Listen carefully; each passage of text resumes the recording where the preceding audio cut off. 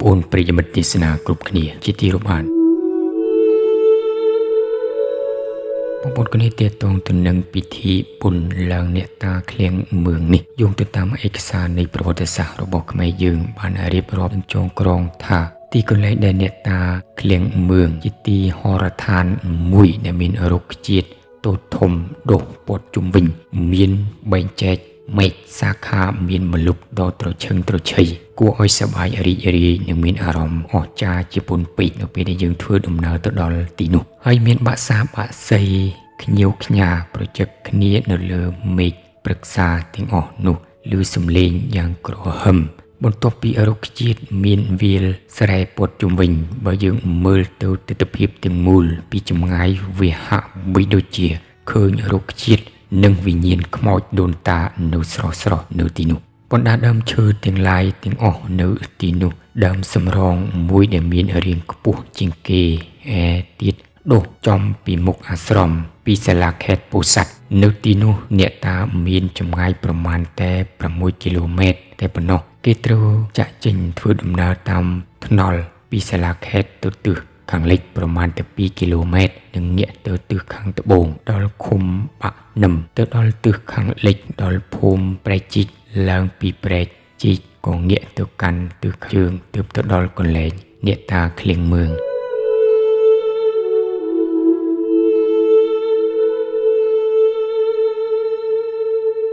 នៅជុំវិញអាស្រមអ្នកតាឃ្លៀងមឿងនេះមានវាលស្រឡះទំនេរនៅគ្រប់ ចន្លោះរុក្ខជាតិនៅខាងត្បូងអាស្រមគឺជាទីវាលទុកសម្រាប់ធ្វើរោងមានបណ្ដោយប្រមាណជា60ម៉ែត្រទៅតឹង40ម៉ែត្រអាស្រមនេះធ្វើដោយឈើនិងប្រក់ស្បូវតាមបែបទំនៀមទម្លាប់ដូនតាខ្មែរនិងមានបណ្ដោយប្រវែង8ម៉ែត្រទៅតឹង4ម៉ែត្រខ្ពស់រហូតទៅដល់4ម៉ែត្រឯណោះសសរ រលុញនិងមិនមានជញ្ជាំងបិទបាំងនោះទេជុំវិញអាស្រមនេះមានទីលាន ចំនួន4ម៉ែត្រធំធំ ទុកបំរុងឲ្យពួកអ្នកទៅធ្វើបុណ្យទានហែហមប្រតិសិននៅពេលឡើងវិធីអ្នកតានេះនៅខាងក្រៅទីលាន មានរបងធ្វើដោយឈើក្លឹមព័ទ្ធជំវិញ មានផ្លូវចូលពីខាងកើតមួយនិងខាងត្បូងមួយផងដែរនៅក្នុងអាស្រមខាងមុខ តួអ្នកតាមានរៀនដែលមានបណ្ដោយ3ម៉ែត្រទៅទឹង2ម៉ែត្រកម្ពស់រហូតទៅដល់5ទឹកដែលធ្វើអំពីឈើសុទ្ធដែលជារៀនហាលសម្រាប់ដាក់ដងវាយអ្នកតាមឿងខាងជើងនិងខាងត្បូងអ្នកតាមឿងគឺមានបង្កាន់ដៃដតដោយបែបបត់ធ្វើតាមលំនាំដូនតាខ្មែរនៃប្រាសាទបុរាណតាមឯកសារនៃប្រវត្តិសាស្ត្ររបស់ខ្មែរយើងបានគុណគូនិងរៀបរាប់ថា តួអ្នកតាមឿងទាំងមូលគឺមិនមានរូបរាងបែបឈើនោះទេឬក៏ថ្មតំណាងទេនិយាយរួមទៅគឺជាតួដីដំបូកសុទ្ធសាធមានទំហំចំនួន2ម៉ែត្រទទឹង1ម៉ែត្រនិងកម្ពស់2ម៉ែត្រដែលកើតឡើងអំពីសត្វកណ្ដៀដែលវាពូនឡើងដែលប្រជាជននៅលើទឹកដីខេត្តពោធិ៍សាត់បានសន្និមុតថាជាតួអ្នកតាឃ្លៀងមឿងទៅដល់កំពូលនៃដំបូកនោះដែលមានរូបរាងដូចទៅនឹងមនុស្សដែលមាន ពំនូកដី4ទៅ5ស្រួចស្រួចបែកចេញមើលទៅវាហាក់បីដូចជាកំពូលនៃប្រាសាទអង្គរវត្តដូច្នេះដែរកំពូលដីដំបូកដែលជាតួអ្នកតាមឿងនេះអ្នកស្រុកសម្គាល់ថាបើមានសត្វកណ្ដៀពូនឡើងថ្មីថ្មីទៀតនោះសន្និមត់ថាចៅ័យខេតឬក៏ចៅ័យស្រុកចៅ័យក្រុងនឹងត្រូវផ្លាស់ប្ដូរទូនីតិតំណែងឬក៏ត្រូវខូចបុណ្យស័ក្តិដកតំណែងជាដើម រីឯដីដំបូកនេះមិនដឹងជាកើតឡើងពីរាជកាលនៃព្រះរាជវង្សខ្មែរស្ដេចអង្គណាឲ្យប្រកាសនោះឡើយគឺពុំមានឯកសារណាបញ្ជាក់នោះទេ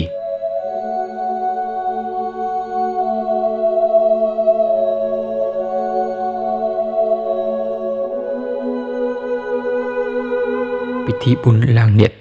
មឿងនេះដែលជាពិធីបុណ្យទំនៀមទម្លាប់ប្រពៃណីរបស់ខ្មែរតាំងពីដូនតាជួបយូរលង់ណាស់មកហើយរបស់អ្នកស្រុកនៅទីនោះនិងពពុះមន្ត្រីសាលាស្រុកតែងតែធ្វើជារៀងរាល់ឆ្នាំនៅក្នុងខែពិសាខចំថ្ងៃសៅរ៍មិនដែលអាខានម្ដងណានោះទេពួកគេត្រូវបានកំណត់យកខែខ្នើតឬក៏ខែរនោចគឺរើសយកតែថ្ងៃសៅរ៍តែមួយគត់ដែលធ្វើពិធីលុត្រាទៅមានសេចក្តីបង្គាប់ ពីចៅហ្វាយស្រុកឬក៏អភិបាលខេត្តជាដើមឬក៏មេឃុំស្នឹងឬក៏លោកអាចារ្យវត្តនិងបណ្ដាប្រជានុរាស្ត្រទាំងអស់ដែលរស់នៅនៅដែនដីខេត្តនោះដើម្បីមកជួបជុំមូលមីគ្នាធ្វើរោងក្រសាលនិងរៀបចំប្រោះទឹកកន្លែងឲ្យស្អាតជានិច្ចសម្រាប់ព្រះសង្ឃនិងមន្ត្រីរាជការនៅក្នុងខេត្តទំនៀមទម្លាប់ប្រពៃណីរបស់អ្នកតាស្រុកនេះ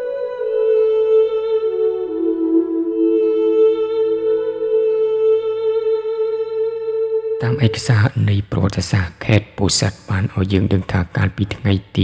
18នៃខែមិថុនានៅក្នុងកំឡុងនៃឆ្នាំ1949ពេលនោះចាប់ផ្ដើមបុណ្យត្រូវជួបជុំមេឃុំមេស្រុក មេខេត្តឬក៏មេស្នឹងអាចារ្យវត្តនិងបណ្ដាប្រជានរាជដែលរស់នៅលើទីកន្លែងអ្នកតានោះតែម្ដងលុះដល់ពេលម៉ោង6មេស្នឹងអុជទៀនធូបទៅជម្រាបអ្នកតាថា ថ្ងៃនេះយើងខ្ញុំជាកូនចៅមកជួបជុំគ្នាធ្វើបុណ្យនៅទីនេះសូមជូនអ្នកតាមឿងសូមឲ្យយើងទាំងអស់គ្នា បានសុខសប្បាយរួចគេលេងភ្លេងថ្វាយមានភ្លេងខ្មែរភ្លេងពិនពៀតភ្លេងឆៃយ៉ាំភ្លេងក្រញាំងទា តាមធម្មតាឮសូរប្រគុំក្រហឹងអើងកងរំពងព្រៃមនុស្សចាស់ក្មេងផ្ទះដៃឬក៏រទេះគោរទេះក្របី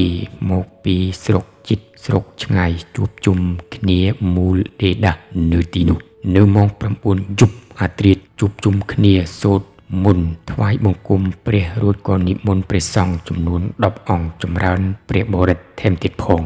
លុះព្រឹកឡើងនៅថ្ងៃអាទិត្យទី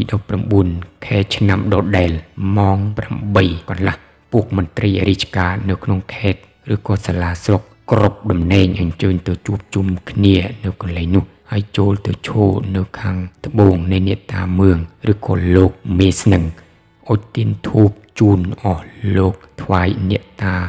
ដោយសេចក្តីគោរពមេថ្មឹងបង្គាប់ឲ្យលើកគ្រឿងដង្វាយមករៀបនៅចំនៅលើរានហាលចំពោះមុខនេតាមឿង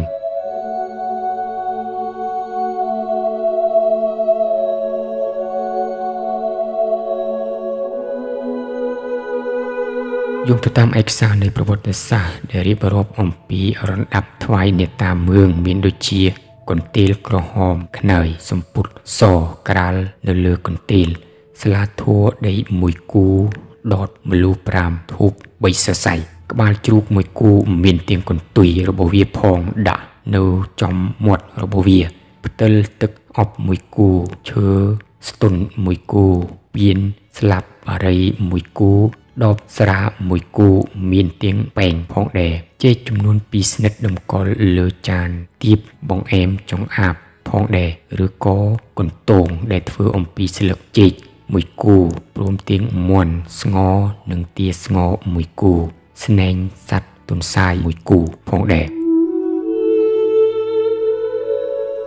រំដាប់ដងវាយទៀង10ពីមុខនេះមានគូគ្រប់ទាំងអស់សម្រាប់ដាក់ ឆ្វេងស្ដាំក្រៅអំពីដងវាយ12មុខនេះមានដងវាយដែលអ្នកស្រុកថ្វាយថែមទៀតផងយ៉ាងពេញបរិបូរណ៍និងត្រៀបត្រានៅលើរៀននោះគេឧទានធូបបែកគ្នាកាន់ដើរហែប្រតិសិនជុំវិញអាស្រមនេតាមឿងដែលជាការគោរពចំពោះអ្នកតានិងនឹករលឹកដឹងគុណដល់អុកញ៉ាសេនាធិបតីមឿងដែលបានបូជាជីវិតឈាមស្រស់ ត្រកាលស្រោចមកលើដែនដីខ្មែរដែលមានកេរ្តិ៍ឈ្មោះតាំងពីគ្រិស្តសករាជ1516ដល់រាប់មកដល់សពថ្ងៃនេះទើបអ្នកស្រុកសន្និមត់ហៅថាអ្នកតាឃ្លៀងមឿងគេរើសយកមនុស្សឲ្យមានរូបរាងពុនពុនគ្នាចំនួន2នាក់សម្រាប់ពាក្យស្នែងសត្វទុនសាយតែងតួស្លៀកសម្ពុតផាមួងចងក្បិនខ្លួនទទីអ្នករំពីអ្នកទៀតធ្វើ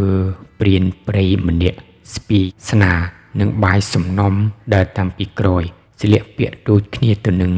នាគពាក់ស្នែងទុនសងផងដែរលុះហេបាន3ជុំរួចគេក៏លេងភ្លេងរំស្នែងសัตว์ទុនសងនោះអ្នករំចាប់ពាក្យស្នែងរួចថ្វាយបង្គំនេតា3ដងឡើងរំផងដែរឆ្វេងរៀងរៀងខ្លួនមកដល់ជួបជុំគ្នាគម្រប់3ដងវានឹងអើងកងដាក់គ្នារហូតដល់មានចំនួនសัตว์ផ្សេងផ្សេង ទៀតបានចូលទៅរំព្រមព្រមគ្នាព្រមទាំងមានព្រានព្រៃទៅជាមួយផងដែរនៅក្នុងអត្តន័យនិងខ្លឹមសារនៃបទចម្រៀងនោះគឺរៀបរាប់អំពីដំណើរនៃព្រានព្រៃបាញ់សត្វព្រៃឬក៏មេតបជូនដំណើរនៃស្ដេចផែនដីក្រសាលព្រៃនាសម័យបុរាណលុះព្រានព្រៃទាំងពីរនាគឃើញសត្វទន្សងដល់គ្នាជួបក្រាបរៀងខ្លួនលបបាញ់បានទើបដោះស្នែងសត្វទន្សាយទាំងពីរនោះទៅដុំ កល់នៅទីដើមរបស់វារីឯមេស្មឹងបានចាប់គ្រឿងដង្វាយគ្រប់មុខដាក់កន្ទាលចាក់ស្រាដតធូបបីសរសៃរួចនិយាយបួងសួងថាថ្ងៃនេះជាថ្ងៃល្អយើងខ្ញុំជួបជុំគ្នាធ្វើបុណ្យឧទ្ទិសកុសលជូនចំពោះអ្នកតាមឿងដែលមានគុណចំពោះនគរ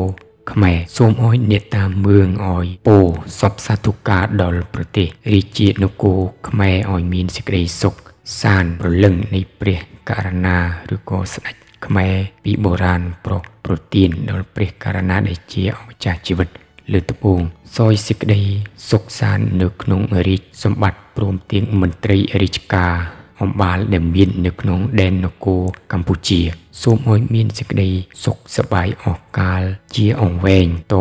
រៀងទៅ